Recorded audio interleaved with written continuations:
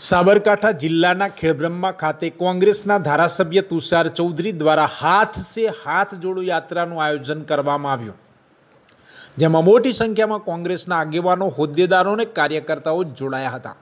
આ યાત્રાની શરૂઆત ખેડબ્રહ્માના બસ સ્ટેન્ડથી કરવામાં આવી હતી જે બ્રહ્માજી ચોક વાસણા રોડ સરદાર ચોક સહિત વિવિધ વિસ્તારોમાં થઈને પસાર થઈ પંચશીલ ખાતે પૂર્ણાહિતી થઈ હતી આ યાત્રામાં સ્થાનિક વિસ્તારના વિવિધ પ્રશ્નો જેવા કે બીપીએલ યાદી સર્વેનું કામ જીઆઈડીસી એકમોની સ્થાપના ખેડબ્રહ્મા રેલવે લાઇનને આબુ અંબાજી સુધી લંબાવવામાં આવે કરાર આધારિત ભરતી પ્રક્રિયા બંધ કરવા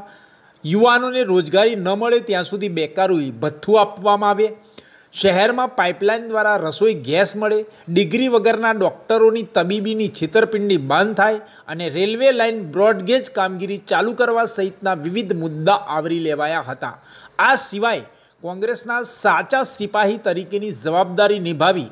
આપનું આ પ્રેમ, સદભાવના અને આશાની મશાલ સળગાતી રાખીને હાથથી હાથ જોડીને ભારત દેશને ગૌરવવિત બનાવીએ.